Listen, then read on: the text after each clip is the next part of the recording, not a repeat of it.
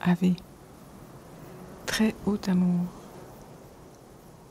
s'il se peut que je meure sans avoir su d'où je vous possédais, en quel soleil était votre demeure, en quel passé votre temps, en quelle heure je vous aimais. Très haut amour qui passait la mémoire, feu sans foyer, dont j'ai fait tout mon jour. En quel destin vous traciez mon histoire, en quel sommeil se voyait votre gloire ô mon séjour?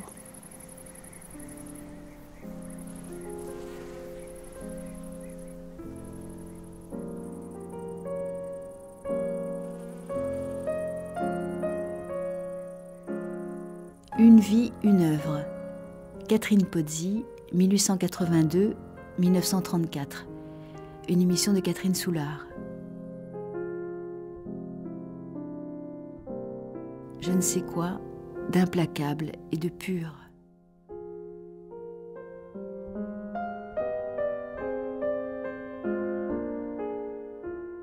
Elle disait des robes que les robes sont l'élégance et la suprême moralité du corps.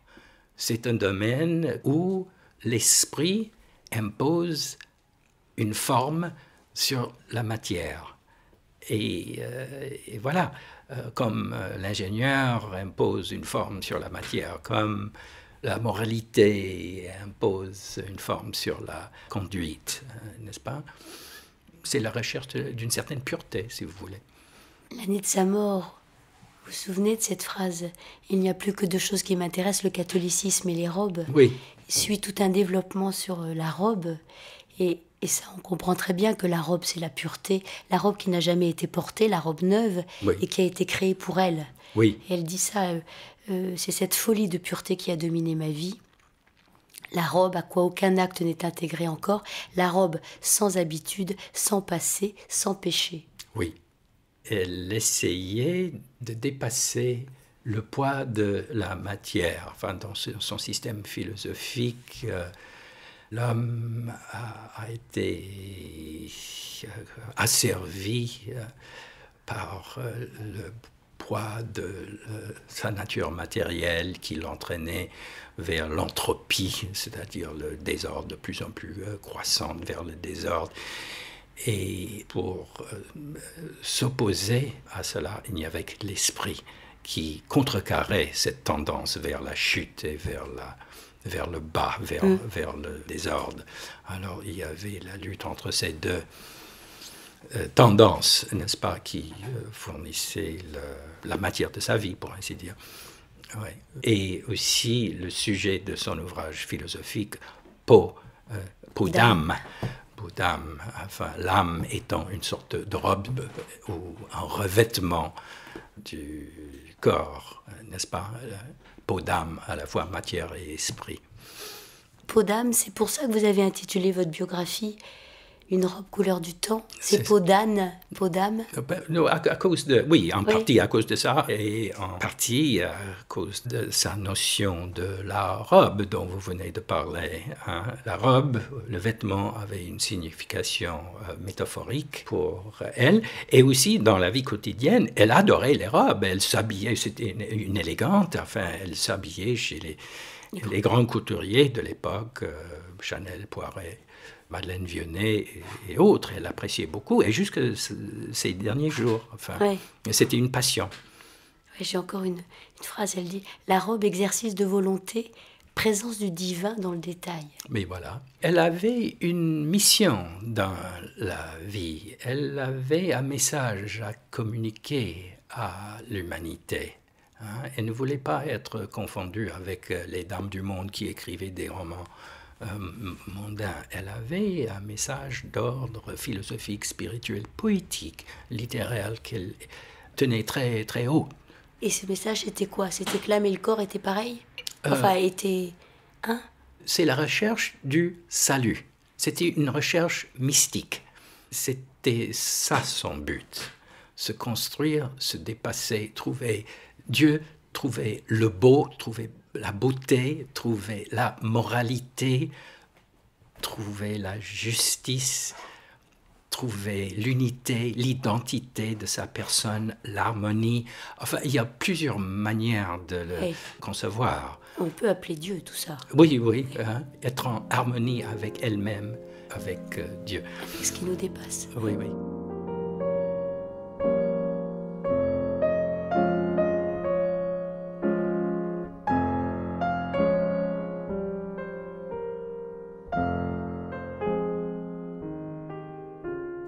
Propos du recueil de poèmes que vous venez d'éditer avec Laurence Joseph aux éditions Gallimard, Claire Pollan, vous écrivez que très jeune, Catherine Pozzi découvre en elle un besoin de servir qui l'animera jusqu'à la fin de ses jours. Oui, c'est ce qu'elle dit dans son journal à plusieurs reprises. Ça m'avait assez frappé parce que j'y reconnaissais une sorte de désir protestant de servir au monde émanant d'une euh, jeune fille de la haute bourgeoisie parisienne qui, euh, pour son époque, était peut-être pas destinée à justement à servir le monde. Alors, je pense que cette expression, elle l'emploie, elle y pense comme un, service intellectuel, un service peut-être moral, euh, bien sûr par un engagement personnel de sa vie quotidienne. Enfin, c'est la mise au service du monde de son intellect, de son intelligence, de sa sensibilité c'est une euh, mise au service qui est un peu euh, spécifique, un peu spéciale, un peu spécieuse, mais qu'il faut euh, entendre comme la forme de dévouement que Catherine Pozzi pouvait envisager par rapport à, non même pas du tout la société dans laquelle elle vivait, mais par rapport à son temps.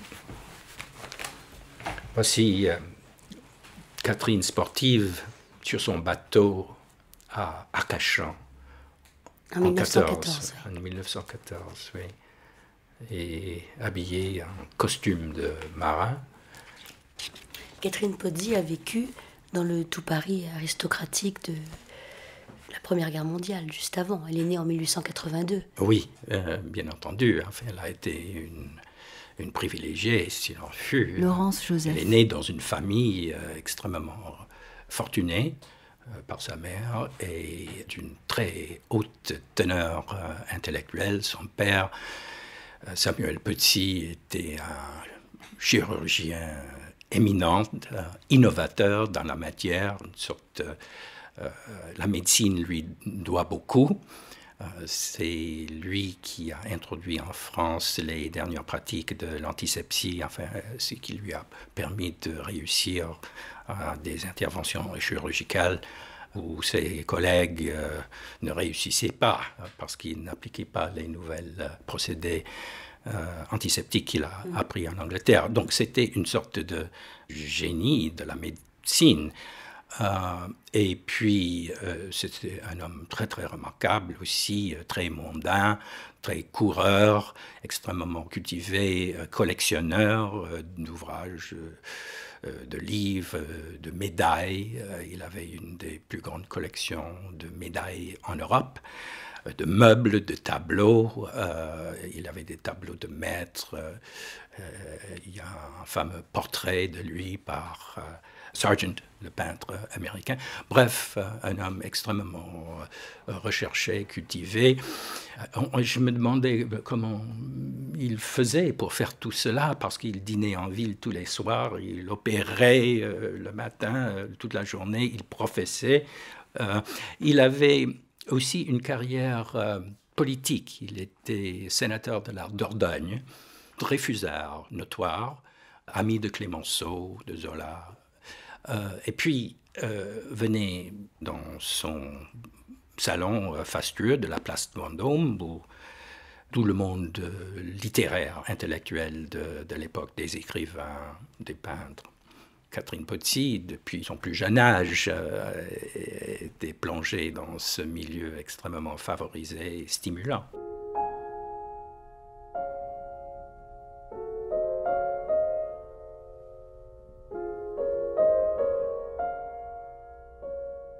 15 juin 1918.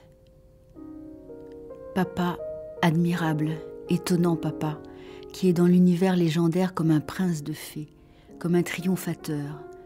toi dont le nom seul était Sésame, toi devant qui le provincial, l'étranger, le génie ou la femme, le savant ou l'artiste était élève ou conquête, qui annexait les âmes à ton soleil, de Buenos Aires à New York et de Beyrouth à Édimbourg. Tu as réussi devant mes yeux de bébé, d'enfant, de femme, de mourante, la lutte pour laquelle il me semble que seulement j'ai intelligence. Tu as mille fois et mille fois encore plié le hideux hasard. Rien autour de toi qui ne devienne esprit et cohérence. Rien en toi qui ne soit grâce souple, sourire, bonté, beauté, succès, bonheur. Tu n'as rien touché que tu ne rendisses vivant. Tu riais en disant Pensez, pensez. Tu as guéri, compris. Tu ne croyais pas en Dieu et tu dispersais sa puissance.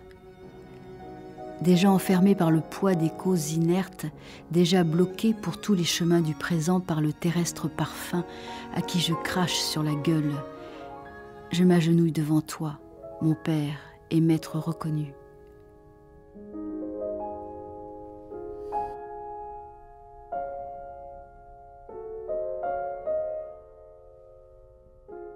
Elle était dans un milieu très, euh, très cultivé. Son père, Samuel Posy, était un grand chirurgien.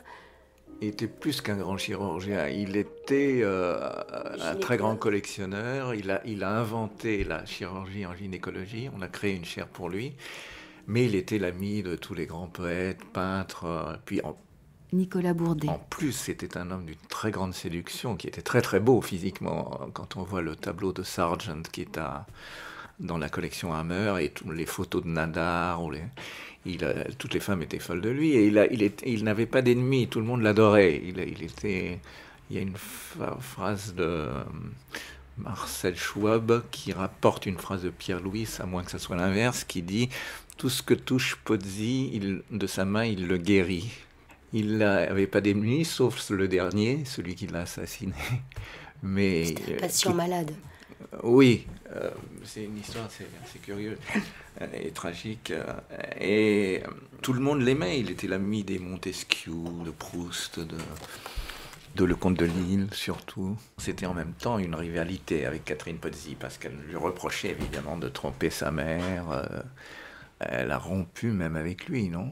Oui, elle est partie en Angleterre parce qu'elle a pris le parti de sa mère. Et puis, euh, c'est à sa mort qu'elle elle pensait qu'il ne s'intéressait pas à elle. Et c'est après sa mort qu'elle a appris par Madame Bulto que pas du tout, il lui portait beaucoup d'intérêt. Il y a eu aussi une phrase où elle dit Je reçois une éducation catholique parce que mon père est athée, et qu'elle ne voulait pas qu'on dise qu'il l'avait influencé. en fait, son père était protestant et sa mère était catholique. Voilà. Sa mère était euh, catholique d'une famille monarchiste lyonnaise, euh, qui d'ailleurs avait été aussi en partie protestante. Euh, et son père était le fils d'un pasteur protestant qui a joué un rôle important dans la région de Bergerac, un pasteur un peu dissident d'ailleurs, mais qui avait un grand succès, paraît-il, dans toute la région, dans ses prêches. Mais par contre, euh, Samuel Pozzi, était, tout en étant protestant, était complètement athée. Il ne croyait pas en Dieu. Alors il, y a des lettres de Marie Bonaparte qui lui faisait pratiquement la cour et qui essaie de le convaincre, euh, alors qu'elle devient la disciple de Freud ensuite, le convaincre euh, que Dieu existe et qu'il appelle mon cher Jacobin. Mais lui, ça le fait rire. Il, s'oppose à son père sur ce plan, justement. Et ce qui est assez, pour continuer à parler de lui, ce qui est assez comique historiquement parlant, c'est qu'il est un des premiers à traduire Darwin. On a eu une correspondance d'ailleurs avec Darwin. Mais là, il est très jeune, c'est vers 1876, je crois. Et au même moment, euh, son père publie un, texte pour essayer de réconcilier la Bible et la science, enfin les, thèmes de la Genèse et la science. Il y avait des ascendances italiennes. Pozzi, ça vient du La famille est, d'origine euh, suisse, italienne, de cette euh, enclave euh, italienne qui est dans le canton des Grisons, pas dans le Tessin.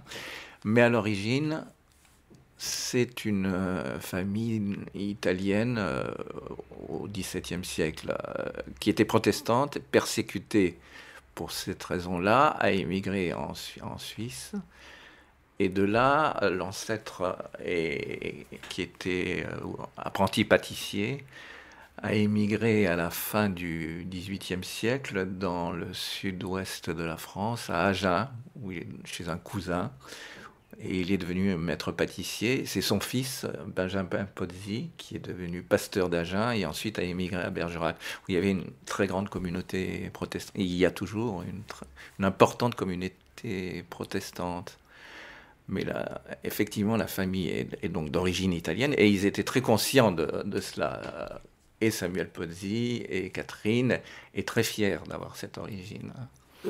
Dans le poème qu'elle dédie, où elle, elle, utilise un poème de Louise Labbé, elle dit bien à Louise comme moi de Lyon et d'Italie. Elle reprend un des sonnets de Louise Labbé, elle intervertit les substantifs et les adjectifs, et elle refait un poème, une espèce de cri d'amour que je trouve extraordinaire. C'est Nix, oui. Nix si, on, dernier poème. si on reprend le... Ô vous mes nuits, aux noirs attendus, aux pays fiers, aux secrets obstinés. Et si vous reprenez, le, je l'ai amené ici, le poème de Louise Labbé, ça commence comme ça, aux beaux yeux bruns, aux regards détournés, aux chauds soupirs, aux larmes épandues, aux noires nuits vainement attendues, aux jours luisants, vainement retournés, aux tristes pleins, aux désirs obstinés. Vous voyez comment elle, utilise le vocabulaire, elle le retourne, et ça fait quand même un, très, très beau poème. Euh, très sensuel en même temps, hein, comme toutes les. Je pensais qu'il y a une sensualité euh, chez, chez Catherine Pozzi. Moi, je, je pense que le corps l'interpelle, comme on dit aujourd'hui. C'est-à-dire que c'est son corps qui parle malgré elle, je pense. Exactement. Elle la renie pas, sa sensualité. Non. Mais dans son journal de jeunesse, on le voit bien, quand elle, flirte avec des jeunes gens, elle danse, etc. Elle, décrit le, désir, mais le désir d'une jeune fille, bon, ça va ne décrit pas des choses intimes, mais enfin, c'est une description du, du désir. Voilà, Catherine et son frère Jean, euh, en costume d'époque, euh, chapeau, euh, ombrelle. Voilà, Catherine élégante en perles, en train de fumer une cigarette en 1920. Oui, apparemment. Oui, peut-être. Juste pour la photo? bah, Probablement commencé son journal intime vers 10-11 ans, je crois. Et cela parce, en grande partie parce qu'elle se considérait malheureuse en famille. Euh, ses parents ne, ne s'entendaient pas. Et euh, Catherine en souffrait. Elle se sentait euh, solitaire et euh, elle se confiait à son journal. Enfin, son journal, c'était le véhicule d'une sorte de recherche littéraire spirituelle qui a démarré très tôt. Je ne dis pas à 10 ans, mais au fur et à mesure, la nature du journal changeait. 1913 euh, euh, c'est le, début de son journal d'adulte, tandis que le journal d'enfance euh, commence bien plus tôt. Et il y a deux journaux, enfin c'est la même chose, mais deux tranches en ont été éditées. Hein. La première partie s'arrête à son mariage. Je crois, oui. La deuxième partie, publiée d'abord chez Ramsay, débute euh, en 1913. Catherine euh, voudrait reprendre la direction de sa vie. Elle est mariée, malheureuse en ménage, et euh, elle se pose toutes sortes de questions. Son mari lui est infidèle, elle a un jeune enfant, et puis elle était récemment tombée malade, sérieusement. C'est un tournant dans sa vie. Son mariage a été un échec pratiquement dès le départ. Elle s'est laissée épouser par Édouard Bourdet. Oui, je, crois. elle n'a pas été longtemps heureuse. Euh, euh, Édouard Bourdet euh, avait un autre type d'esprit, un autre caractère. Il était plus frivole, mondain.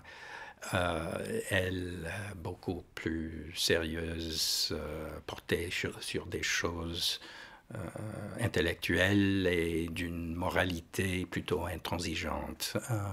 et d'ailleurs, Édouard Bourdet a tiré de cette mésentente le sujet de la pièce Le Rubicon qui a inauguré son illustre carrière d'auteur dramatique. Et qu'il a commencé à écrire pendant leur voyage de noces. Enfin. Il paraît, oui, c'est ça. Oui, oui. Mais ce qui est important, c'est la déception terrible qui fait qu'elle décide de reprendre sa vie en main. Oui, en effet. Et donc de reprendre le journal et d'écrire. Oui. Elle ne pouvait pas s'en passer. Elle se défoulait, elle se consolait, elle se confiait. Elle s'élaborait. En réalité, le journal, c'est la construction d'elle-même. Euh, c'était la substance spirituelle dont euh, elle, euh, elle, était faite. Hein.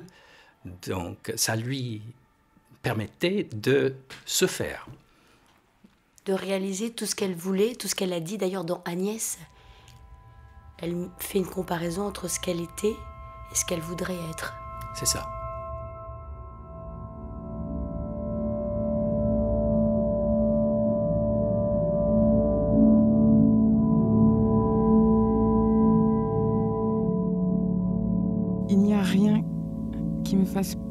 Plus mal au corps que d'être inférieur à la nièce de mon orgueil.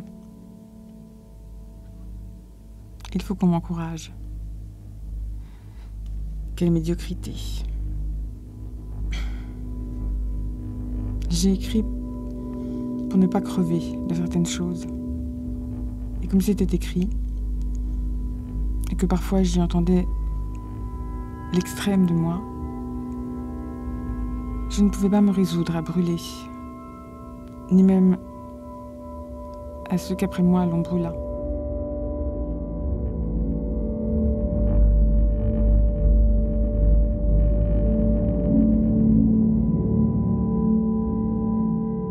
Laurent Joseph, elle s'est faite toute seule, elle a appris toute seule, elle était autodidacte. Elle était autodidacte. Les, filles à cette époque-là, on ne leur faisait pas faire d'études. Eh ben, c'est une vérité partielle. En fait, euh, il y a eu à l'époque des femmes qui euh, faisaient des études, il y a eu des, femmes... Euh, euh, médecins, des euh, Marie Curie. Euh, enfin, c'est pas tout à fait vrai. C'est ses frères qui, ont les études. Les frères étaient privilégiés et je suppose effectivement dans son milieu. riche, même cultivé, mais ça ne se faisait pas. En fait, elle a passé un trimestre à l'université d'Oxford en Angleterre. Elle a fuyé des, des accords euh, familiaux, euh, une dispute, une querelle avec, avec son père, euh, pour se réfugier en Angleterre en 1907. Elle aurait voulu y retourner, mais sa mère l'a persuadée de rentrer en France, etc., et de suivre un chemin plus habituel à une personne de, de son âge et de son milieu. Mais elle a lu toute seule tous les philosophes. C'est vrai, c'est vrai. Et, même euh, euh, adolescente, jeune femme, euh, elle fréquentait des cours de Victor Brochard à la Sorbonne, elle a assisté à des conférences au Collège de France. Qu'est-ce qu'elle faisait d'autre? Elle suivait, je pense, des cours de Bergson. Elle étudiait le bouddhisme à la Bibliothèque nationale. Elle étudiait la religion grecque, qui est une influence très importante euh, dans son œuvre. Euh, oui, elle euh, faisait un effort très considérable, sérieux, pour se cultiver, oui. Pour apprendre les sciences aussi, parce que tout l'intéressait. Elle a passé un certificat de biologie et elle écrivait des articles scientifiques dans le Figaro. Oui, mais plus tard, dans les années 30. mais les études plus avancée des sciences lui avait été interdite parce que en 1920, euh, elle a échoué à la première épreuve du baccalauréat, la première moitié. Et des années plus tard, je pense que c'était en 27, hmm, je crois, euh, sept ans plus tard, elle a été reçue à son philo, hein, deuxième examen. Et là, à ce moment-là, elle s'est lancé euh, dans des études de, biologie à, l'Institut Pasteur, à la Faculté des sciences de, euh, de Paris, euh, d'une façon assidue et très sérieuse. Hum. Et puis elle, cultivait la société des scientifiques euh, également, qu'elle voyait parfois dans le monde, parce que elle estimait qu'elle avait besoin de connaissances scientifiques pour fonder sa recherche spirituelle. Hein. Comme le disait sa maîtresse de piano, Marie Jaël, euh, avec qui elle a étudié dans son adolescence, je pense à l'âge de 15 ans, euh, avant le tournant du siècle, l'esprit et le corps sont la même chose. Et c'est une notion euh, qui est restée avec elle pendant toute sa vie et qui a déterminé la direction de sa recherche euh, littéraire et spirituelle.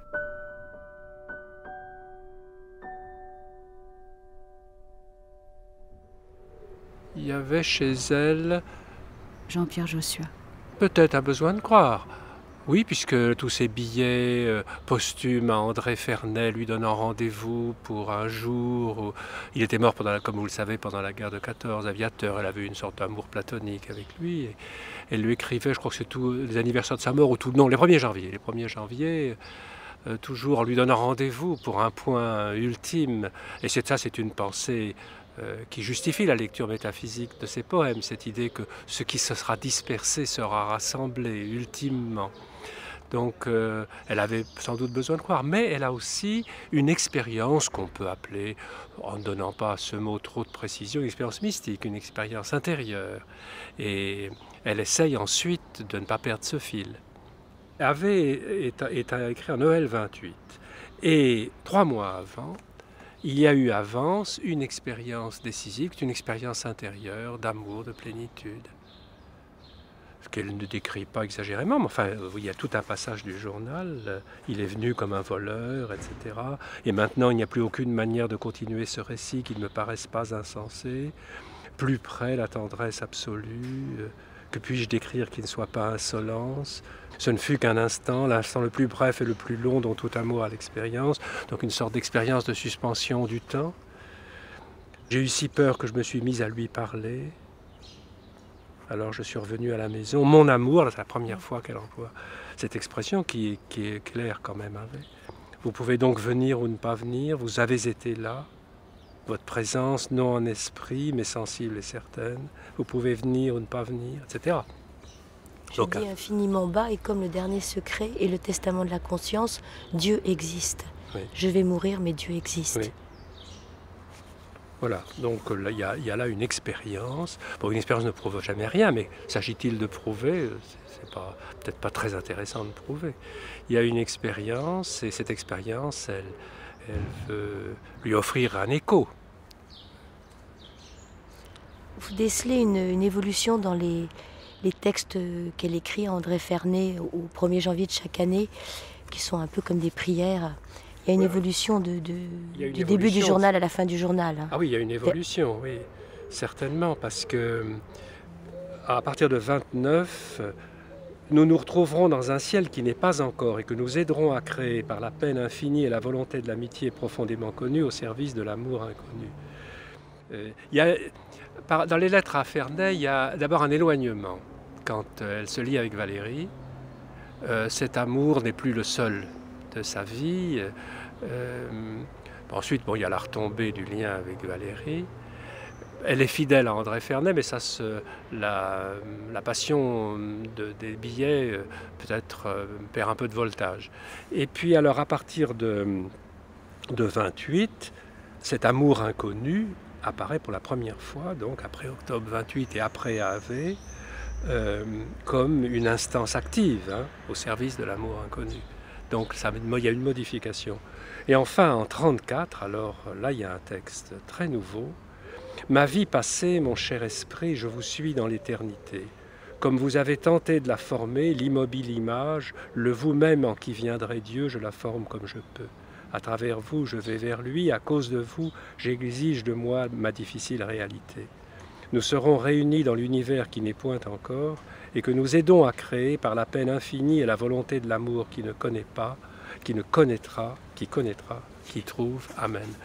Donc là, ça reste toujours des, des textes euh, très ouvert, qui ne se conforme à aucun modèle euh, théologique ou catéchistique. Elle invente son rapport.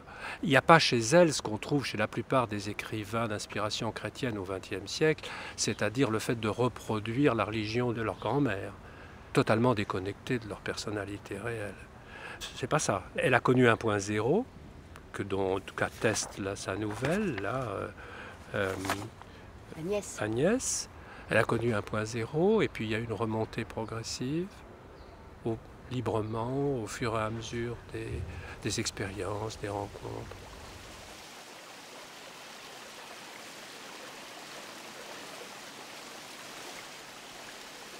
Je prie, je vous prie, ô filles ô pures, je vous salue entre toutes les femmes, donnez-moi l'amour ou faites-moi mourir. Me voici, je me mets à genoux comme autrefois, et dans le ciel qui était vide, je replace tous les saints. Je replace Dieu, obscur au fond d'une lumière éblouissante. Je veux qu'il existe, je meurs de soif. J'ai peur de moi, je suis enfermée en moi. S'il n'y avait que moi avec moi, je n'aurais pas peur, j'en suis certaine. Mais il y a toutes ces tendresses. D'où me viennent-elles? J'aime, j'aime, j'aime des corps que je n'ai jamais vus. D'où me viennent-ils? Est-ce que c'est le péché originel? Où sont-ils? Au fond de ma mémoire Mais quelle mémoire? Ils sont au fond de mon corps. Il me semble que j'ai des corps qui ont aimé mon corps, au fond de mon corps. Tout ce qui est doux les appuie contre moi, le vent, le printemps, et me fait sourire, et puis attendre, et puis attendre, et puis désespérer. Ave Maria, gratia plena, dominus tecum. Donnez-moi l'amour, non pas l'homme qui est près de moi, à qui je dis non, mais cela qui est au fond de moi, à qui je dis oui. Ou bien faites-moi mourir, afin que je ne dise jamais oui par surprise, que je meure maintenant je fais le vœu. Si vous m'exaucez, je croirai.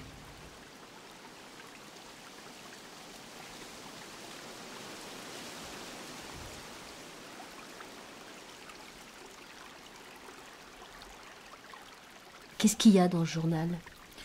Il y a beaucoup de choses. euh, alors en vrac, il y a d'abord que quand moi j'ai publié son journal, quand j'ai travaillé sur son œuvre, elle était vraiment plus connue de grand monde, qu'il y avait très très peu de personnes qui étaient capables de me dire des choses sur Catherine Pozzi, me demandant sur quoi je travaillais. Je disais je travaillais, je recopie le journal de Catherine Pozzi à la Bibliothèque nationale.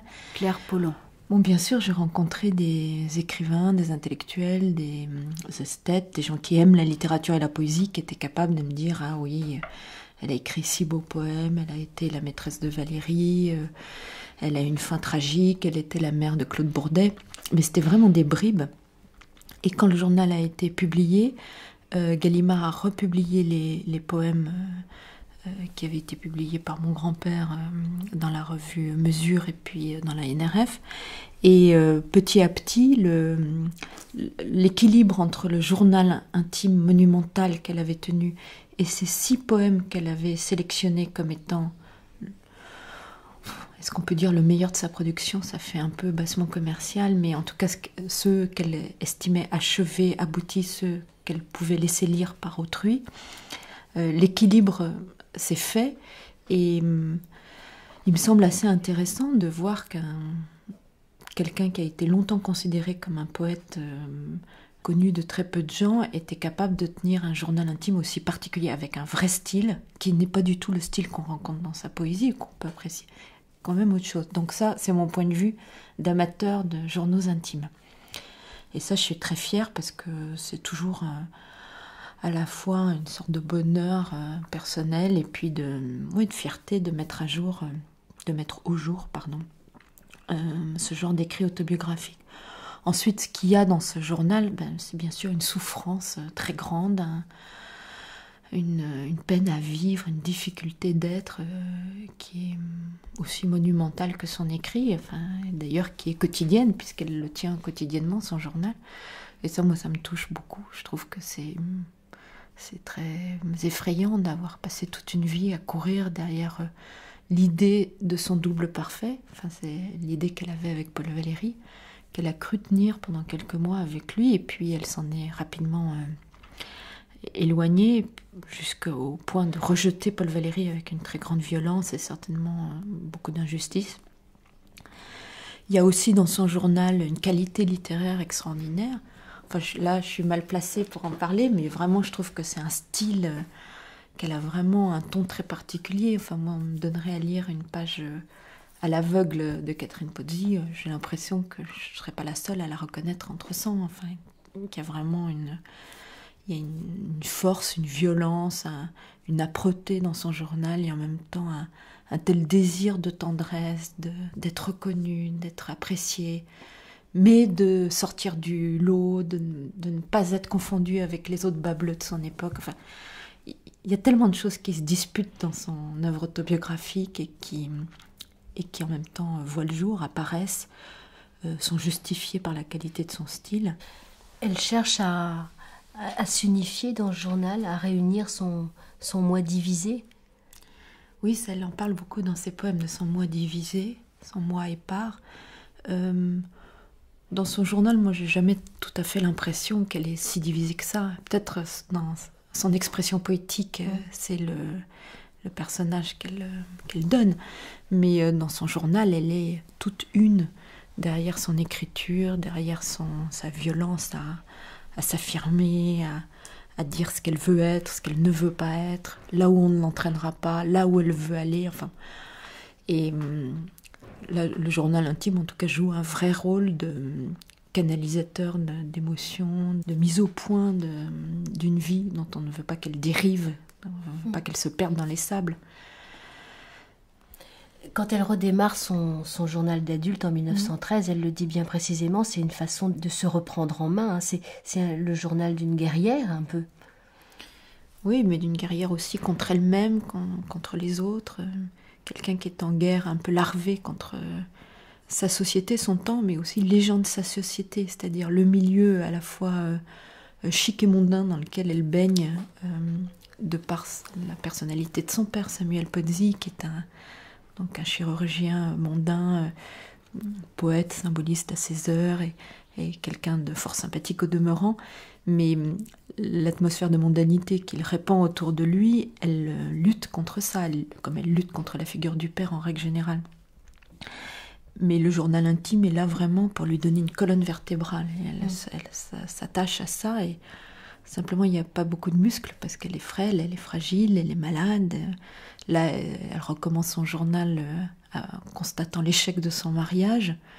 Et euh, une des premières phrases qu'elle dit, c'est euh, Revenez, mes chers dieux, de l'enfance et de l'adolescence, je n'ai pas changé, je suis la jeune fille d'autrefois. Et je cours de toute la vitesse de mes jambes pour échapper à la, à la nouvelle situation dans laquelle je suis depuis mon mariage. Elle la décrit, elle décrit la misère que ça représente pour elle, et elle décide de s'en sortir. Et son journal est un des moyens qu'elle a de s'en sortir. «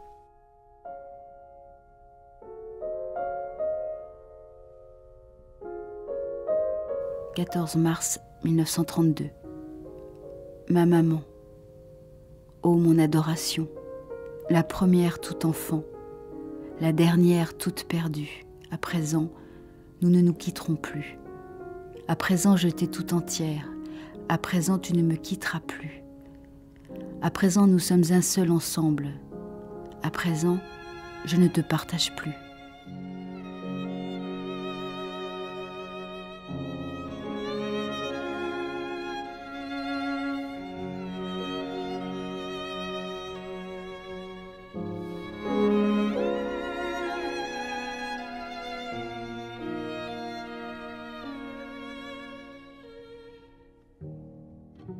Façon d'aimer euh, autour d'elle, que ce soit des hommes comme ses parents. Oui. Son père et sa mère, à la mort de ses parents, il y a des lignes magnifiques. Oui. Elle a une façon d'aimer, euh, comment dire, ah, absolue, enfin. Oui, et euh, ni ses parents, ni les personnes qu'elle a choisies pour amants ne pouvaient répondre à cette soif d'absolu qu'elle recherchait dans l'amour. Euh, son père, elle adorait, n'était pas à la hauteur, c'est-à-dire les rapports avec elle ne comblaient pas cette euh, attente. Elle adorait son père, son père l'adorait euh, d'une certaine façon, mais avec ça, il y a eu des désaccords euh, qui pouvaient devenir extrêmement violents. Mm.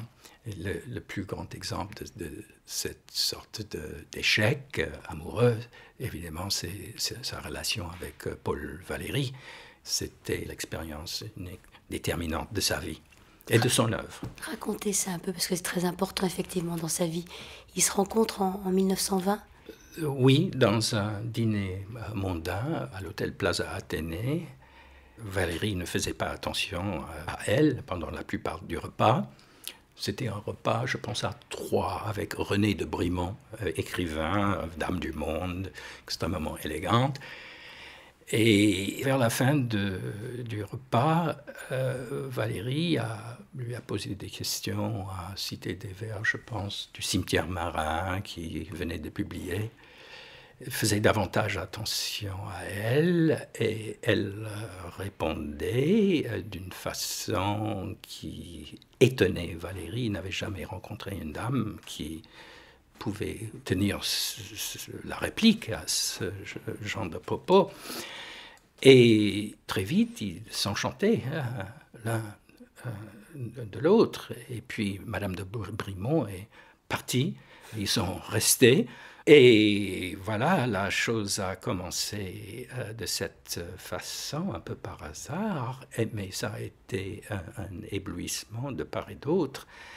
Pour Valérie, ça a été un bouleversement euh, total, mais complication aussi parce que Valérie était mariée, il avait 50 ans, il aimait tendrement sa femme, ses enfants, c'était abominable, mais en même temps, Valérie, tout en étant euh, obsédée de Catherine Potier, ressentait ça comme une sorte d'humiliation. Il perdait contrôle de son esprit.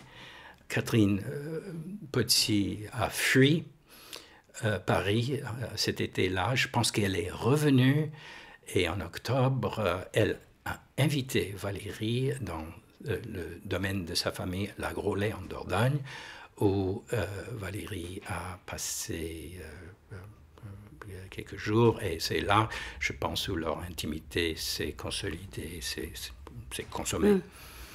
Mais c'est une entente à la fois intellectuelle, affective, érotique, euh, d'une puissance euh, étonnante, remarquable.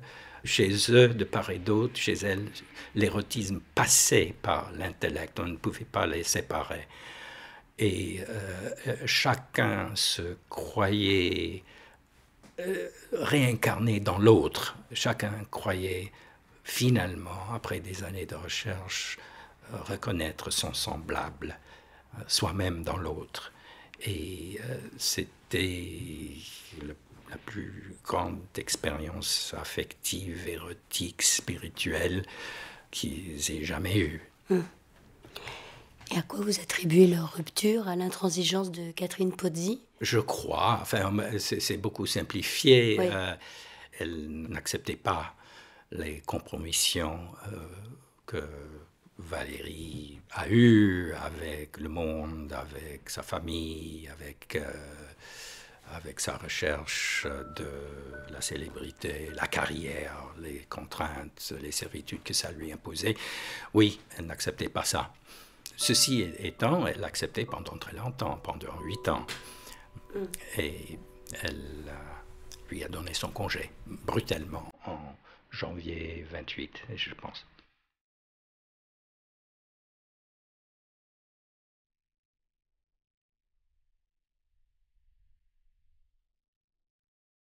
14 mai 1921, 9 heures, Il était là aujourd'hui, quand on m'a apporté une lettre et un paquet du diplomate. Le paquet était un merveilleux parfum. La lettre demandait de me voir. Il a dit, vous allez lui renvoyer ça. J'ai répondu que je pouvais obéir, mais que ce serait grossier, que c'était bien plus simple de ne pas le revoir. Cet homme me poursuit depuis six ans. Il a dit qu'il était jaloux, mais qu'il ne se reconnaissait aucun droit sur moi. C'était mettre l'amour sous le signe de la fantaisie. Merci pour le sourire, merci pour le baiser. Nous ne sommes engagés à rien. Alors, et méchante contre moi-même, je lui ai parlé de sa femme. Quand il est parti, j'ai compris que j'étais seule au monde. Alors j'ai fait téléphoner au diplomate qu'il pouvait venir. Il était là une demi-heure après. Il m'a dit que si j'étais sa maîtresse, il se ferait nommer dans la ville que je choisirais.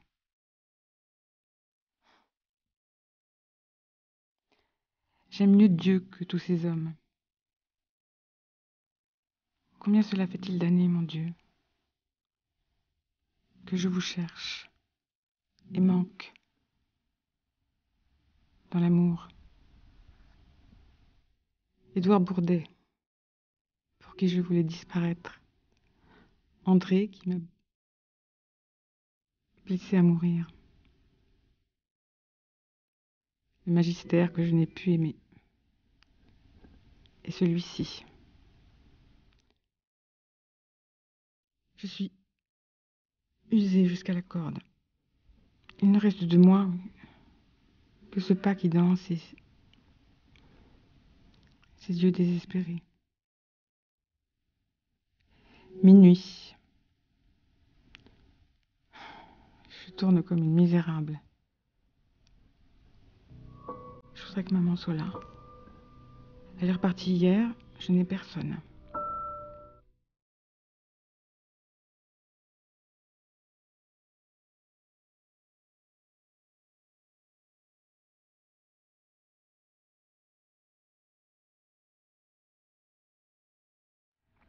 Elle confond l'homme aimé et Dieu, on peut dire ça? Euh, elle se soucie pas d'une précision métaphysique, je ne crois pas qu'elle les confonde, mais en fait il y a une superposition, il y a un glissement. Mais l'homme aimé est une âme, hein, à l'époque. Une âme, euh, je dis ça avec tout le vague que ce mot comporte. C'est devenu une âme pour elle, c'est plus un homme de chair et d'os. D'ailleurs, là-il été, il a été une image avant d'être une âme.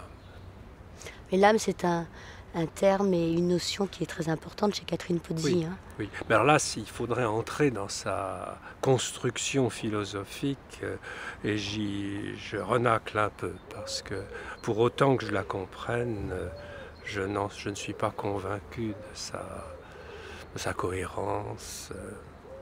Et sans, sans parler de peau d'âme, euh, elle parle de la surface âme qui doit être nourrie comme la surface corps. Enfin, il y a peu de gens qui sont aussi euh, sensibles à, l'importance de l'âme qu'elle, euh, peut-être. Oui, elle a essayé, autour de ce mot d'âme, de concilier une sorte de métaphysique matérialiste avec une euh, mise en valeur d'abord de l'expérience de l'esprit en l'homme, et puis ensuite d'une dimension de spiritualité qui ne serait pas euh, destructible ou qui se reconstituerait. Mais après tout, euh, cette idée de la reconstruction d'un être à partir de l'être divisé d'un être un, même à la fin de Ave, et puis aussi de... Vallée. Vallée, oui. Il y a une reconstruction de, de l'être. Cette idée est au fond plus proche de l'idée chrétienne de résurrection, qui est un acte euh, de Dieu que de l'idée platonicienne de la survie d'une âme, d'un principe spirituel en l'homme, qui a été adopté par le christianisme, qui a été à 99% platonisant, mais qui est d'une autre origine, qui n'est pas biblique. Donc elle est plus près de l'idée d'une résurrection, c'est-à-dire de, de, fonder son espérance non pas sur une immortalité, mais sur euh, euh, la puissance rassemblante de, de l'amour. C'est ce qui unifie toute son œuvre, c'est cette recherche de la réconciliation entre l'esprit, l'âme et le corps. Hein, Oui. c'est ce qu'elle cherche. Oui. Elle le dit à son fils, euh, Oui. ça apparaît partout. Et elle entre en amour comme en religion. Vis-à-vis de Valérie, par exemple? Tout le temps, elle le dit ça. Elle dit qu'elle est pour l'amour grave, qu'elle aime sérieux. Oui. Oui, c'est-à-dire qu'en en réalité, la, déception de la relation à Valérie a été une déception euh, humaine, de sensibilité corporelle peut-être, euh, amoureuse, mais aussi de, sensibilité, de, de fleur de peau. Je ne veux pas insister sur des détails pas, pas tellement agréables, mais c'est de cet ordre-là. Cet amour qu'elle avait eu pour lui, elle le, elle le lui garde sérieusement comme un amour d'esprit. Elle continue une relation avec lui, puis elle la coupe parce que lui ne supporte pas cette discordance. Il aurait voulu qu'elle continue à être ce qu'elle a été pour lui à un moment probablement relativement bref. Mais elle, cette fidélité d'amour persiste sous une autre forme. Et de même pour euh, André Fernet, cet amour bon, euh, fraternel, il continue après sa mort.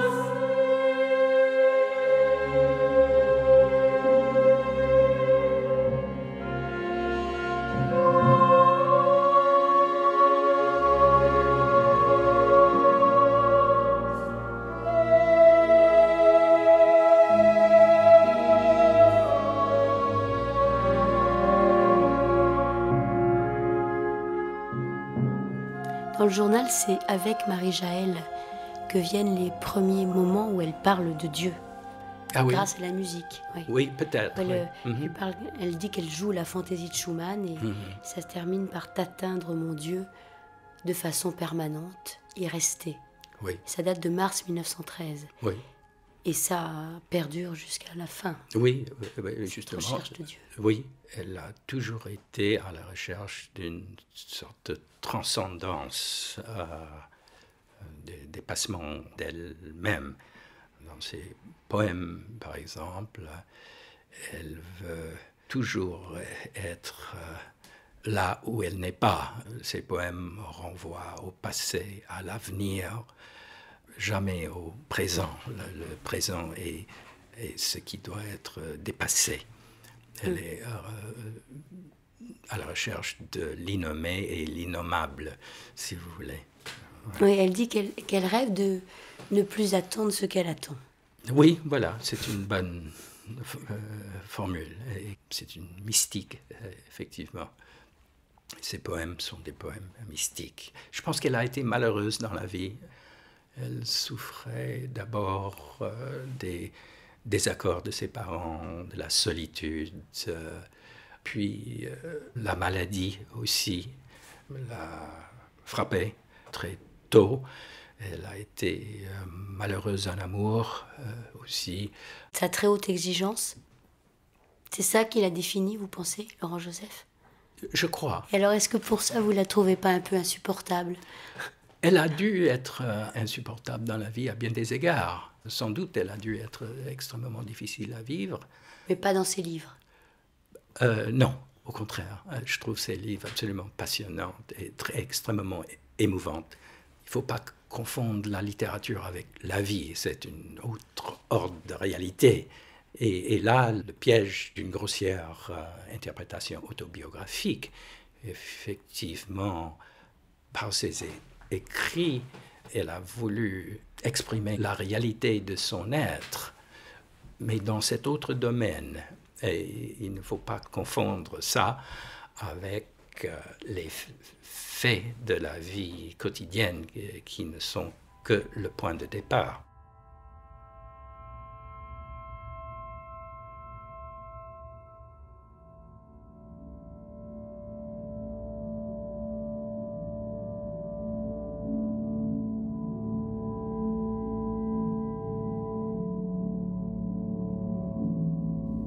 Plus haut de soi que contre soi.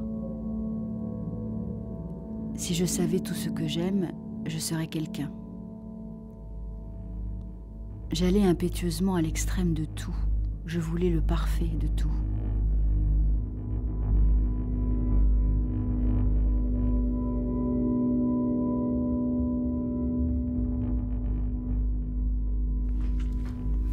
Elle écrit Je suis un des points singuliers par où la souffrance de la planète rayonne. En 1931. Oui, ça c'est beaucoup plus tard. Ouais. C'est quand elle est aussi euh, accablée par les progrès de la tuberculose, de l'asthme, que son corps s'affaiblit considérablement, elle dit toujours dans son journal qu'elle paraît pas malade, ce qui est vraiment, je crois, une des vraies souffrances morales du, du profondément malade, de la personne qui va mourir de tuberculose. Elle paraît pas malade parce qu'effectivement, quand elle sort dans le monde, quand elle voit des gens, elle, est, euh, elle a pris un bain, elle, elle le raconte aussi ça dans son journal. Elle s'est frottée aux gants de crin, elle a mis la plus belle robe qu'elle avait et elle fait illusion. Bien sûr, elle rentre chez elle totalement épuisée, euh, malade de découragement, de fatigue et de vanité euh, mal satisfaite. Et voilà, la souffrance du monde rayonne à travers elle, parce qu'il y a ce, rapport au monde souffrant qu'elle exprime par-dessus tout, et qui est là même quand elle apparaît euh, bien. Euh, le jeu entre l'apparence euh, et, ce qu'elle ressent vraiment est toujours très présent dans le journal. C'est un des thèmes constants de son journal. C'est très émouvant, ça, son amour de, de la toilette, que justement elle se coiffe, elle se poudre, elle s'habille bien. Elle dit que c'est une façon de combattre la mort, que c'est c'est très important. Puis c'est son désir de, de pureté. Enfin, elle a une espèce de soif de toujours paraître. Euh, c'est son fils qui disait, Claude Bourdet, qui disait qu'elle se parfumait, qu'elle se lavait, euh, comme si c'était une euh, quelque chose de sacré. Dans son journal, elle dit qu'elle se lave et qu'elle se frotte au gant de crin comme un cheval au haras. Ça, c'est juste avant, avant une rencontre avec Paul Valéry. Et, et euh, bien sûr, elle ajoute la pique contre Paul Valéry tout de suite. Elle trouve qu'il est négligé et qu'il ne se prépare pas mm. à ses rendez-vous amoureux avec le même soin qu'elle a. Il faut dire aussi que c'est quand même une grande bourgeoise, qu'elle a beaucoup d'argent, donc elle peut aller chez les grands couturiers et choisir longuement une robe dont la forme, euh, le tissu, le, contact. Euh, va lui convenir, euh, pas uniquement esthétiquement, mais aussi moralement. Ça va être une image de l'état de son esprit au moment où elle la porte. Elle a d'ailleurs une théorie philosophique autour de cette, euh, histoire biblique du voile du Zaïmph, autour de la déesse Tanit. Et, euh, et, donc elle fait de ce voile qui couvre le corps une métaphore de la, de la pensée. Et euh, donc pour elle, se vêtir et se vêtir avec un sens particulier, non pas de la toilette, mais de l'habit qui va la montrer au monde et qui va donner d'elle une image au monde, est quelque chose de particulièrement important. Elle fait beaucoup de choses, je crois qu'elle fait tout avec sérieux, Catherine Pozzi. Elle s'habille avec sérieux, elle aime avec sérieux. Dans son journal de jeunesse, elle dit qu'elle est comme empêchée de faire les choses avec légèreté et euh, gaieté.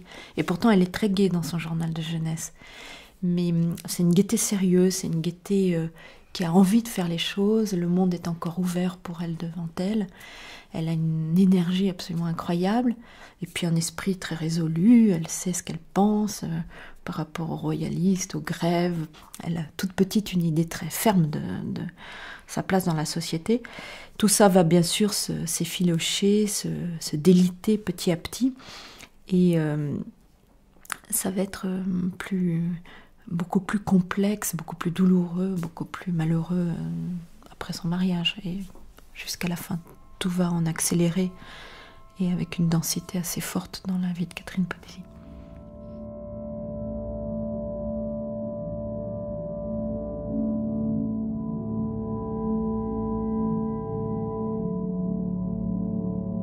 Ce qui ne peut devenir nuit ou flamme, il faut le taire je suis un des points singuliers par où la souffrance de la planète rayonne. J'écris pour ne pas mourir de solitude. J'ai peur de vos bras qui tout de suite ont la forme de mon âme. Le pur et le grave, on aime comme on est. J'aime sérieux. Je fais chaque fois ma première communion. L'homme qui partagera mon travail je serai sienne. Le mal de Dieu est un feu dans la nuit.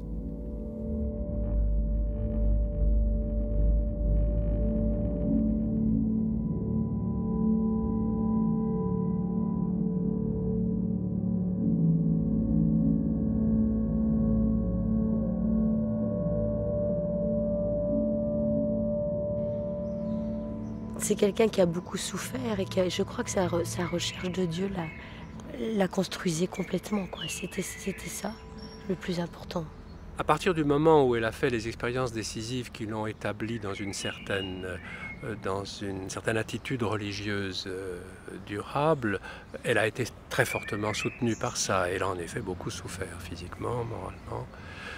Elle a attendu euh, de l'expérience chrétienne ce qu'elle peut donner, ce qu'on a toujours eu tort de mettre en avant comme étant ce qui serait premier, mais ce qui en fait partie, c'est-à-dire euh, une capacité d'affronter euh, la souffrance.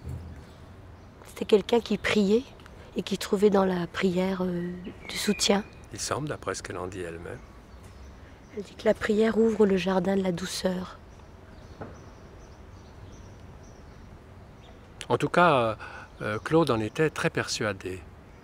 Et, Son fils, Claude Bourdet, oui. Claude Bourdet en était très persuadé. il, avait, il avait gardé ce souvenir-là de sa mère, et je pense que c'est un des éléments qui, pour lui-même, représentait un témoignage qui dure, quelque chose qu'il construisait lui-même. Elle a une grâce et une élégance extraordinaire. On a un petit film Catherine Bourdet. qui avait tourné mon père, je pense, et où on la voit bouger et avec une, une aisance. Euh, c'est extraordinaire. Elle est déjà euh, physiquement très atteinte. Et elle fait très attention parce qu'on sent que chaque mouvement est, est étudié dans la grâce et comme une, comme une danseuse. Et elle adorait la toilette, donc euh, elle s'habillait toujours extraordinairement bien. Et à cette époque, avec les robes longues, c'était d'autant plus beau. Et tous les gens qui l'ont approchée disaient que sa laideur disparaissait bah, vers la fin de sa vie, enfin, quand elle pouvait encore parler dès qu'elle parlait euh, ou souriait, elle charmait, malgré, malgré son, visage extrêmement creusé, fatigué. À la suite de la mort d'un ami que j'aimais beaucoup, je me suis dit que peut-être chez elle, on pouvait trouver une réponse euh, à la mort. Donc je me suis mis à transcrire les cahiers du Delibertate, qui font partie de ces cahiers. Et il y en a environ 4 ou 5 de, qui ont servi à écrire Podam. Et donc, je, transcris ces cahiers, je trouve ça extraordinaire, émouvant. Euh, surtout que dans ces cahiers, il n'y a pas que les réflexions philosophiques, il y en a beaucoup, mais il y a aussi sa vie de tous les jours à côté. Alors, c'est assez extraordinaire à lire.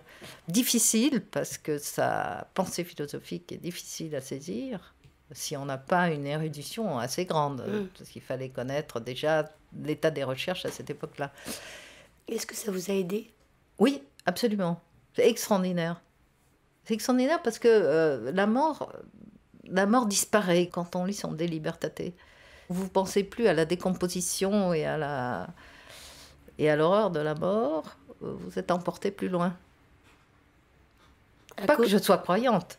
Je, ne crois pas, mais justement, elle se situe à à un niveau où vous pouvez ne pas être croyant et où elle ouvre, elle ouvre des aspects sur, euh, pas la vie éternelle, mais sur une, possibilité de survivre euh, à travers elle, penser à travers l'hérédité. Voilà. Mais je ne pourrais pas vous expliquer tellement euh, sa pensée parce qu'elle est, elle est difficile. Mais en la lisant, c'est consolant.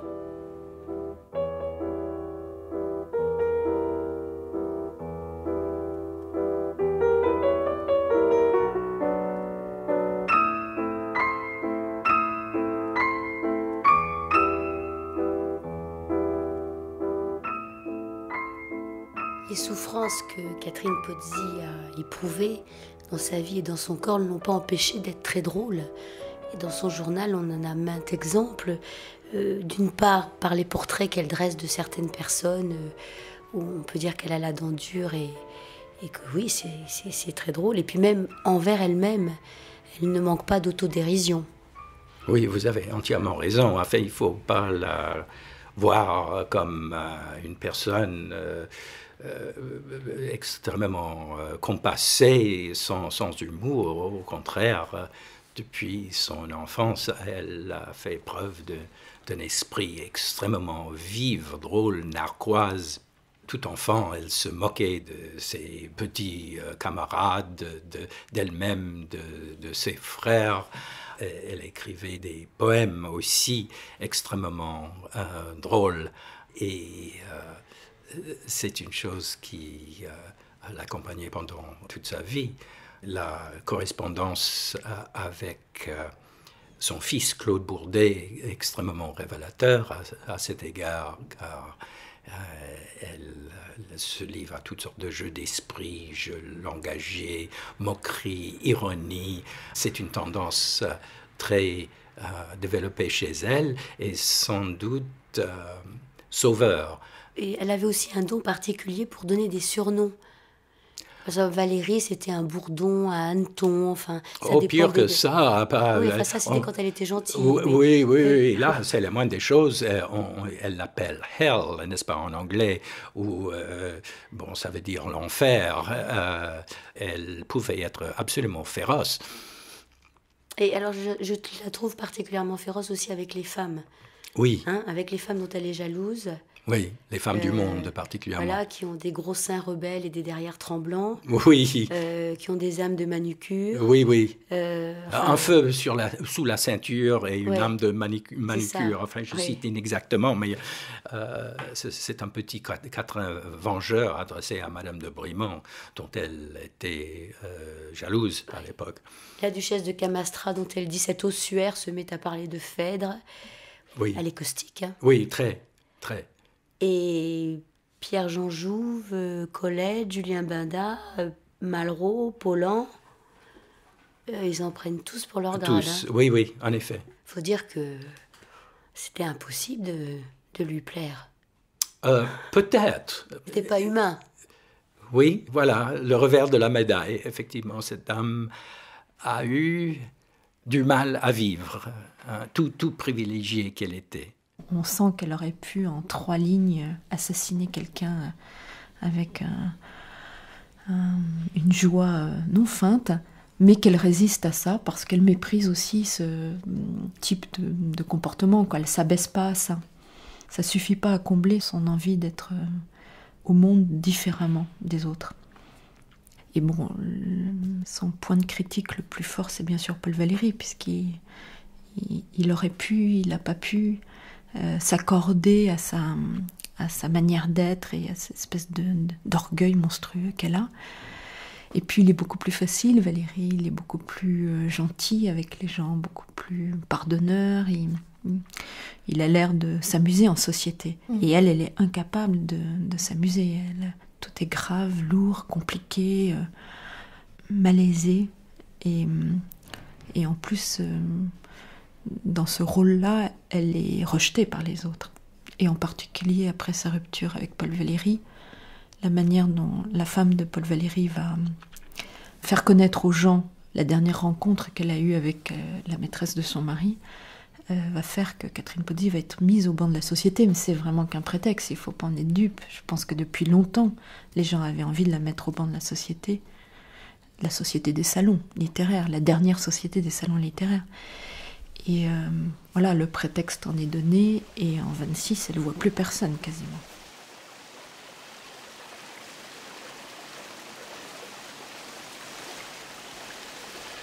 Ave, très haut amour, s'il se peut que je meure sans avoir su d'où je vous possédais, en quel soleil était votre demeure, en quel passé? Votre temps, en quelle heure je vous aimais. Très haut amour. Très haut amour qui passait la mémoire, feu sans foyer, dont j'ai fait tout mon jour. En quel destin vous traciez mon histoire, en quel sommeil se voyait votre gloire? Ô mon séjour, quand je serai pour moi-même perdu, et divisé à l'abîme infini, infiniment quand je serai rompu, quand le présent dont je suis revêtu aura trahi, par l'univers en mille corps brisés, de mille instants non rassemblés encore, de cendres aux cieux jusqu'au néant vanné, vous referez pour une étrange année un seul trésor. Vous referez mon nom et mon image, de mille corps emportés par le jour, vive unité sans nom et sans visage, cœur de l'esprit, au centre du mirage, très haut amour.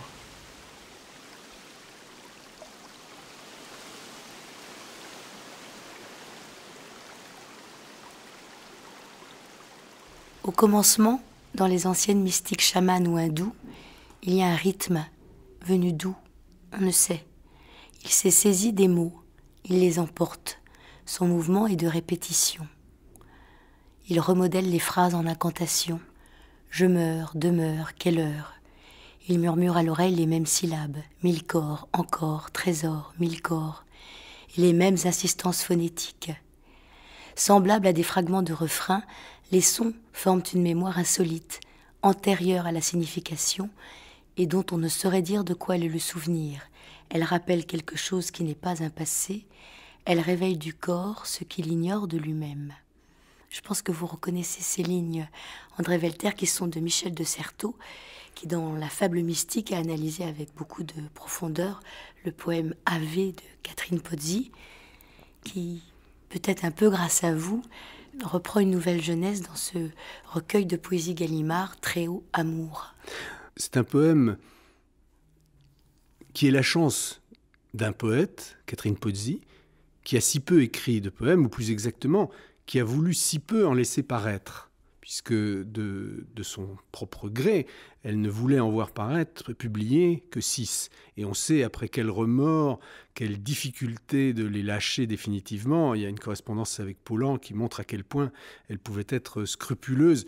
Et en tant qu'éditeur, je pourrais même dire tatillonne. Je n'aurais pas voulu l'avoir en face de moi pour arriver à terminer une édition avec elle. Et pour six poèmes.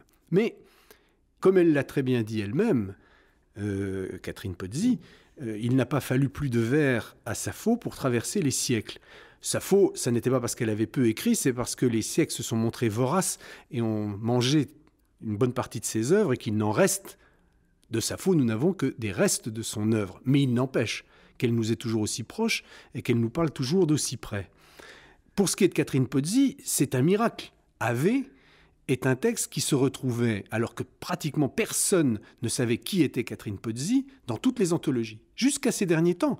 Regardez, si peu de vers avaient ces, quelques strophes. Et pourtant, ces quelques strophes ont des résonances qui n'en finiront jamais dans notre propre destin. Parce que il y a tout dans ce poème. Il y a bien entendu l'attachement, il y a la déploration, il y a un génie de la langue.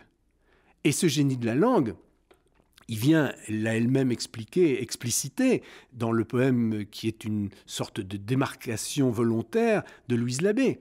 Et ça aussi, c'est une chose qui m'avait beaucoup frappé, c'est comment il y a dans une poésie si machiste, car vous le savez que la poésie française a très peu de poètes femmes jusqu'à ces dernières années. Et au cours des siècles, on était toujours amené à citer qui? Louise Labbé, Marie de France si on veut, euh, euh, Pernet Duguier, enfin bon, mais disons Louise Labbé, puis on faisait un bond énorme et on arrivait à Marceline Desbordes-Valmort, puis après on arrivait au XXe siècle et on se demandait bien qui. Eh bien, il y avait Catherine Pozzi.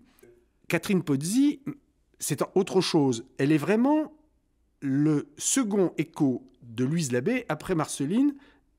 On arrive à Catherine Pozzi.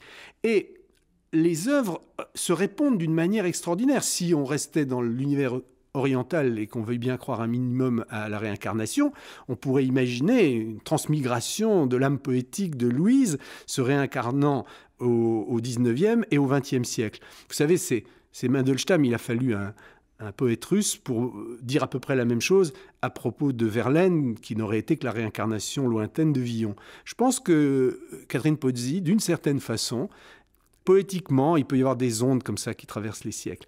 Et ce qui m'a toujours fasciné, c'est que la poésie française, qui manque si désespérément de grands poètes femmes pendant tous ces siècles, a trouvé des cimes avec ces trois poétesses. Je ne mets pas Marceline tout à fait à la même hauteur que Louise Labbé et Catherine Pozzi. Et curieusement, c'est parce que elle trouve dans le génie de la langue française la capacité, comme le disait De Certeau, d'allier le son au sens et de nous mettre dans une sorte d'état d'élévation qui nous échappe. On ne sait pas pourquoi on va se retrouver dans ces zones où la conscience est à la fois éblouie et un peu aveuglée et qui est proprement fascinante avec ce génie du rythme, de la musique, un génie propre à la langue. Et s'il m'est apparu nécessaire de faire place à Catherine Pozzi, c'est parce que cette sonorité au sein du XXe siècle est quasiment unique. Et j'avais envie qu'on se rende bien compte que quand la poésie arrive à ce degré d'incandescence, peu importe euh, les moyens, ce sont les résonances qui comptent.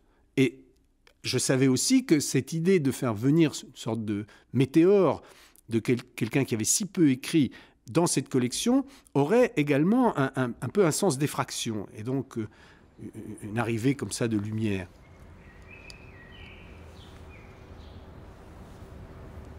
Ave dépasse l'amour amoureux.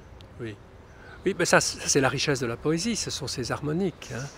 Il y a là, euh, dans, dans Ave, puisqu'on en parle et que c'est vraiment le poème essentiel, il y a là euh, une dimension du poème qu'on ne devrait pas oublier en la télescopant.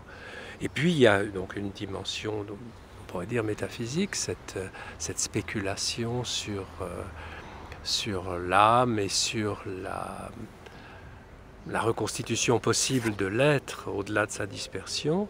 Et puis il y a euh, ce thème euh, d'une expérience religieuse qui s'atteste et qui nomme son interlocuteur. Il est difficile de ne pas entendre ça. Hein. Le feu sans foyer, le très haut amour d'abord, dont on ne sait pas d'où on le possède, donc qui vous saisit sans qu'on se le soit donné, qui habite un soleil, c'est déjà une question d'envaler, mais c'est une habitation bien transcendante. La gloire est un terme biblique. Le feu sans foyer, je, moi, j'associe avec le buisson ardent, n'est-ce pas? Ça, c'est qui trace son histoire. Donc, son histoire est, tracée par un autre, euh, et puis qui opère le rassemblement, qui est capable de ressusciter. Tout ça rend difficile d'échapper à, une lecture qui identifie le très haut amour euh, à lui ou à mon amour. Euh, du texte d'octobre, une présence agissante en même temps qu'inconnue, et qui est corroborée aussi par le, le journal du 5 décembre 29. Hum. Mais déjà en 1922, elle écrivait euh, Pourtant Dieu existe. Le reste, tout le reste, c'est ce que je viens d'écrire n'est sans doute qu'illusion, mais Dieu existe et il y a mieux, je l'aime. À la mort de Madame Bulto et de Monseigneur Duchesne, à un moment où elle est profondément déprimée, oui, voilà ce qu'elle écrit. Mais euh, bon, Reverdy a dit que le plus fort de tout, c'est d'aimer Dieu. Euh, même sans être sûr qu'il existe. Euh, on peut aimer Dieu sans, être sûr qu'il existe, sans croire même, au fond en aimant son propre amour, en, érotisant, en aimant son propre amour pour lui. Euh, c'est encore une chose possible, mais ce n'est pas une chose qui aide beaucoup à vivre. Les choses changent sérieusement quand on peut se croire aimé d'un amour absolu. par un amour absolu, ce qui est fou, mais ce qui est l'expérience euh, religieuse, enfin l'expérience chrétienne en tout cas.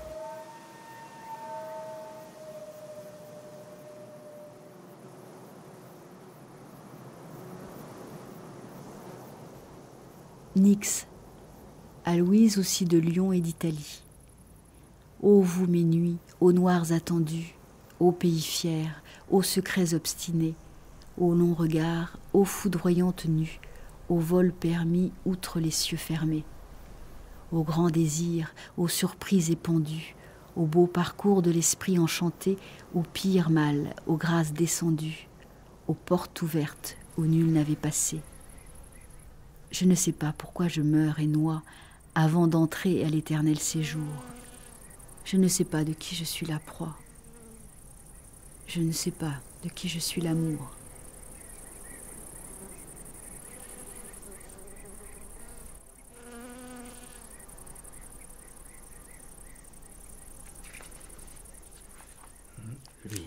C'est curieux cette photo-là que vous montrez, elle ressemble à Simone Veil, on dirait. Oui, on dirait. Oui, vous avez raison. Hein? C'est un, je pense, une, photo tirée d'un passeport. Mhm. Et puis, elle avait un côté euh, mystique, visionnaire, et ça depuis longtemps. Cette tendance s'est accélérée dans ces dernières années, mais elle s'est toujours intéressée à l'au-delà, tout en restant sceptique aussi à, bien des égards. Elle s'intéressait au bouddhisme dans son adolescence.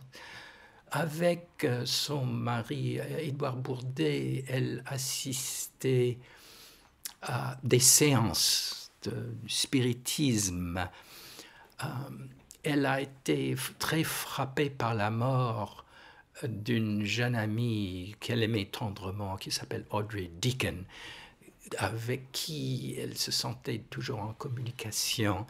Et puis cette tendance s'est euh, accélérée mm, dans ces dernières années grâce à sa maladie, peut-être grâce aux drogues euh, qu'elle prenait pour soulager ses douleurs.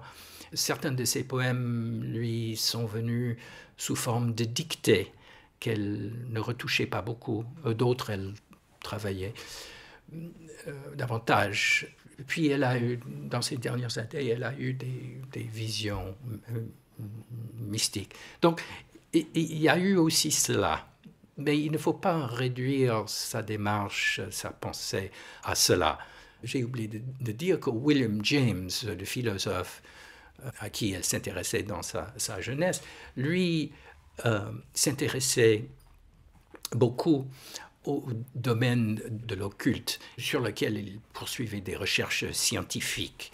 Hein, et euh, elle aussi poursuivait euh, une recherche scientifique dont le but était spirituel, philosophique et, autres. C'est-à-dire, ses investigations, sa recherche ne niaient pas le positivisme, mais le dépassaient, ne, ne niaient pas la matière, euh, mais s'en servaient pour aller ailleurs loin.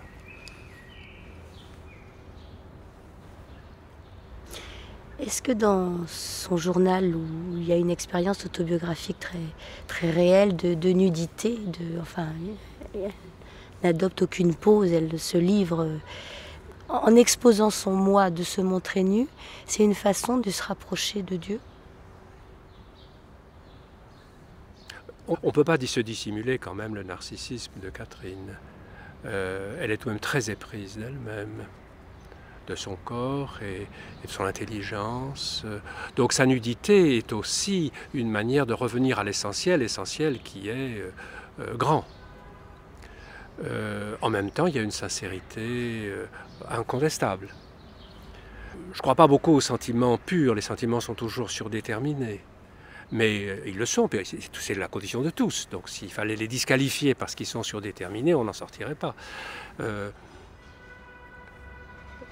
elle se rapproche de Dieu, sans doute, à partir du moment où elle l'a découvert. Elle se rapproche d'elle-même, elle se rapproche du lecteur potentiel qui n'aura peut-être jamais lieu, mais qui lui renvoie une image d'elle-même. Elle n'avait pas du tout le désir d'être publiée. Non, non, je sais bien. Non, je dis un lecteur potentiel, c'est-à-dire un lecteur fantasmatique qui, qui participe à l'opération, dans laquelle on se dédouble entre soi et soi, entre soi qui écrit et soi qui regarde. Il y a tant de raisons d'écrire, outre celle de publier. Par exemple, exalter la conscience, l'attention, tracer un chemin, son chemin, détruire, croître. Oui, l'écriture est, pour certains, le, chemin du travail, de la pensée, euh, du travail sur soi. Euh, l'opération est celle-là. Elle est celle d'une euh, invention de soi, d'un monde, d'une relation à Dieu, d'une relation aux autres, à travers le travail d'écriture. Vient à la plume ce qui ne serait pas venu à la pensée. De Catherine Pozzi, vous diriez, Jean-Pierre Joshua, qu'elle avait, elle avait soif, soif d'absolu? Elle a toujours eu soif d'absolu, oui, je crois. Quelles qu'aient été les formes, euh, peut-être plus superficielles, euh, moins, moins réussies, moins, enfin, moins, moins susceptibles d'aboutir, allant moins loin, enfin, tout ça. Euh, mais je crois qu'elle a, été portée par une soif d'absolu, oui. Bien sûr, l'absolu a des, il y a des voies, il y a des voies diverses vers l'absolu. Mon Dieu, Esprit, pardonnez-moi d'avoir aimé un homme comme j'aurais voulu vous aimer, comme je vous ai par brève lumière aimé quand vous étiez vers moi. Pardonnez-moi de m'être aimé avec toutes mes forces dans l'ardeur et l'aberration. Pardonnez-moi mon orgueil et mon inaltérable égoïsme. Pardonnez-moi d'avoir cherché ma joie. Pardonnez-moi d'avoir compris en vain puisque cela n'a pas servi aux autres. Pardonnez-moi d'avoir été fier des soleils de sagesse que vous me laissiez voir et dont je n'ai pas distrait un rayon pour ceux qui sont dans la peine. Pardonnez-moi d'avoir été riche en vain de la beauté du monde. L'esprit et la matière sont une seule chose, je ne l'ai pas enseigné. J'étais faite pour retrouver peut-être, dans un symbole de vertigineuse biologie, la justification de l'étrange dogme catholique. Et j'ai couru ailleurs. Pardonnez-moi, pardonnez-moi. Je rentre dans le silence les mains vides, et ces écritures qui demeurent seules sont encore une vanité. Ne me rejetez pas comme le mauvais ouvrier. Je veux renoncer au bonheur bête et personnel qui n'augmente pas l'univers. Je veux aider, aider, aider ces innombrables moi-même de chair et de souffrance qui montent dans l'illusion d'espace au long du temps si lourd les degrés de votre échelle d'or. Donnez-moi d'aider, je vous le crie de mon être entier, ramassé dans une sincérité qui vient de vous. Et soyez sur mon agonie. Amen.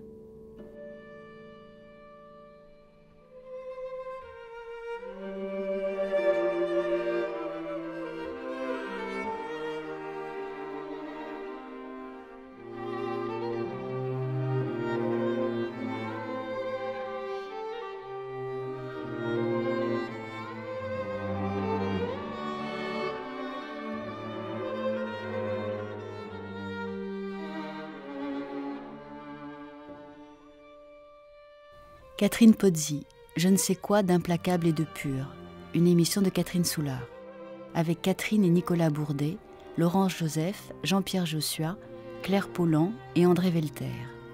Bibliographie, aux éditions Gallimard, collection Telle, La fable mystique de Michel de Certeau. Collection Poésie, Très haut amour. Aux éditions de La Différence, Agnès, d'âme, correspondance Catherine Pozzi, Rainer Maria Rilke, et la bibliographie que Laurent Joseph a consacrée à Catherine Pozzi, Une robe couleur du temps. Aux éditions Claire Paulan, correspondance Jean Paulan Catherine Pozzi, journal de jeunesse et le journal 1913-1934.